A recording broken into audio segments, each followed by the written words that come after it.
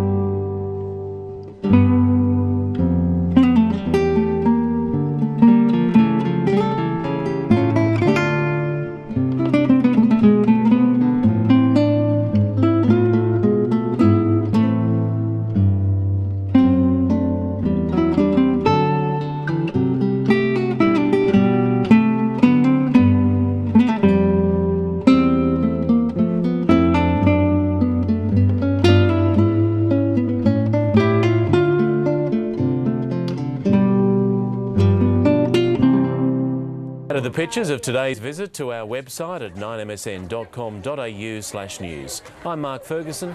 Good night.